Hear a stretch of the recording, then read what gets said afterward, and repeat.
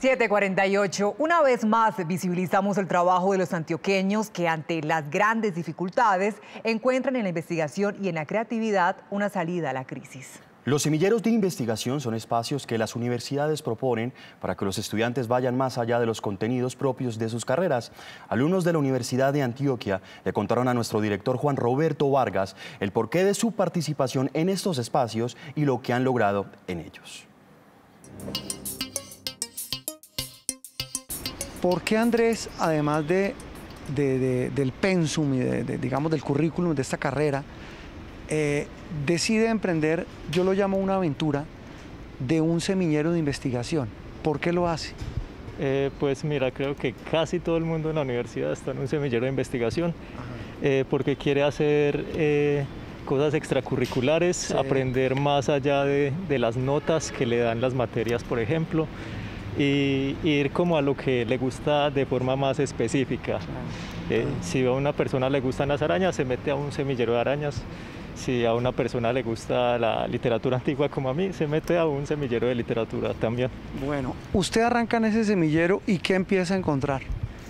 Eh, cuando yo entro al semillero veo pues que están como muy por la línea de, de lo que me gusta, como te decía, de eh, literatura del siglo XIX y más específicamente la de aquí, de Medellín, de la región, que no ha sido tan estudiada. Entonces eh, yo ahí empiezo a encontrarme, por ejemplo, con, con el primer periódico, eh, el primer periódico literario que había salido aquí en Medellín. ¿En qué año? en 1868. ¿Qué publicaban? publicaban más que todo poesía, eh, y digamos que tenía como cosas muy curiosas, como que ahí se llegó a publicar eh, el himno antioqueño. En ese ¿Ah, entonces se llamaba se llamaba El canto del antioqueño y lo escribió Epifanio Mejía. ¿Qué, es un poema? Eh, sí, fue un poema que después los conservadores transformaron en el himno de Antioquia. ¿A dónde lo ha llevado ese proyecto de semillero de investigación con el profesor Ricardo? Este proyecto nos ha llevado a mirar cuáles son las problemáticas que tienen las empresas y cuál es la solución que nosotros podemos aportar desde el conocimiento que tenemos, desde la ingeniería y cómo podemos generar productos para satisfacer las necesidades que ellos tienen. Deme un ejemplo de un producto que ya esté que ya esté andando y que ya esté digamos en una fase, pues me perdona la ignorancia, no en una fase ya experimental, sino que ya empiece a ser avalado como un producto eh, final que termine siendo utilizado de manera pues eh, comercial, por decirlo de alguna manera. precisamente nosotros tenemos un medidor de vibraciones que fue patentado y fue desarrollado en el, en el grupo de diseño y ese producto nos ha, nos ha brindado la posibilidad de, de ir a la industria y mostrarles cuáles pueden ser como las problemáticas que pueden tener las máquinas, sobre todo algunas que tienen componentes rotativos o de trabajo pesado y cómo se les puede ayudar a determinar el estado de salud de algunas piezas con este tipo de equipos. ¿Y ese, ese, ese medidor de vibraciones ya en qué va? ¿Ya hay empresas interesadas en él? Sí, en este momento hay más de 10 personas que adquirieron el dispositivo y lo están utilizando regularmente en sus procesos. ¿Cuánto demora un, grupo de muchachos como usted eh, en un proceso primero, asumo yo, de experimentación, aplicación y ya elaboración de un, de un producto tan específico y con, digamos, con características tan puntuales como es? Claro, ahí sí puede ser muy variable dependiendo pues la dificultad intrínseca del proceso, pero uno podría, eh, como estudiante, cuando llega un grupo de investigación, primero se acopla, mira como las necesidades, Luego va en otra etapa de, los aportes que uno hace, entonces unos dos años probablemente, más o menos. Sí. ¿Dos años? sí, suele ser un proceso largo. esa industria eh, los ha apoyado, ya han tenido acercamientos para decir, venga, nosotros los financiamos, les ayudamos, estamos interesados en ese conocimiento. Eh, siempre que nos hemos acercado, ellos se han mostrado muy, mucha recepción positiva porque les interesa, ya sea porque tienen planes de acreditación o ya sea porque quieran mejorar sus procesos, siempre han acogido muy bien a la Universidad de Antioquia y a nosotros como exponentes de, mejoramiento continuo. Profesor, ahora sí cuéntenos un poco, ¿cómo son estos, estos semilleros que ustedes impulsan como docentes de temas tan puntuales y como dice Walter, de alumnos de diferentes carreras?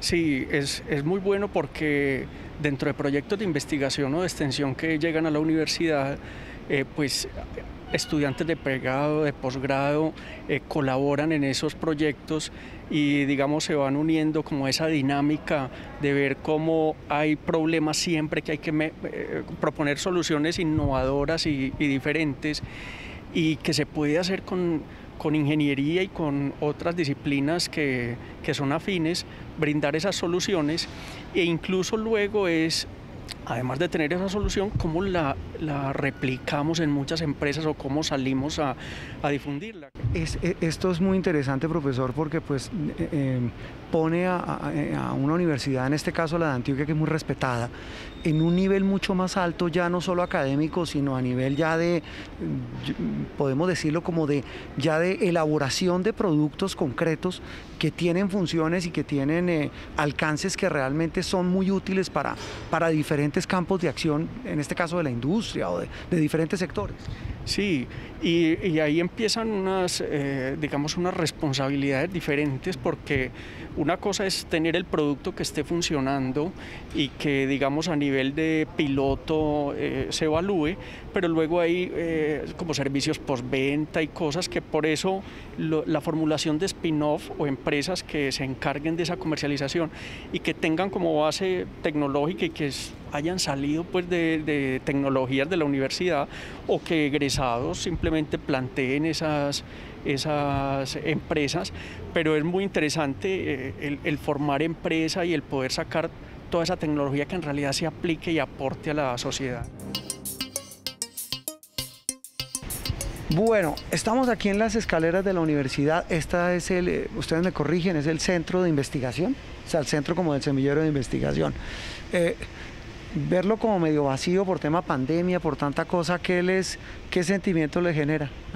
Pues a mí me causa un poco de tristeza porque al interior de estas instalaciones se llevan a, se llevan a cabo investigaciones que pueden aportar mucho a la sociedad, ya porque hay demasiadas disciplinas, acá hay disciplinas de la medicina, hay disciplinas de la ingeniería, entonces ver que se pueda retrasar el desarrollo y, estas eh, investigaciones me genera como un poco de tristeza. Eh, usted me decía que en el caso de ustedes no es, entre comillas, tan grave el tema de, de la virtualidad, ¿o sí? Eh, es bastante relativo, eh, porque en el caso mío, que es la literatura, pues como te decía, podemos buscar temas de investigación que no requieran laboratorios o colecciones patrimoniales, como lo que hice yo investigando eh, la situación de las librerías durante la pandemia, pero sí para otras personas, eh, por ejemplo como el caso del compañero y otra gente que necesita laboratorios, sí puede ser eh, bastante más grave, pero la biblioteca, por ejemplo, está cerrada y si nos hacía como falta, entonces la pandemia es, es compleja, pero afortunadamente ya, ya estamos retornando.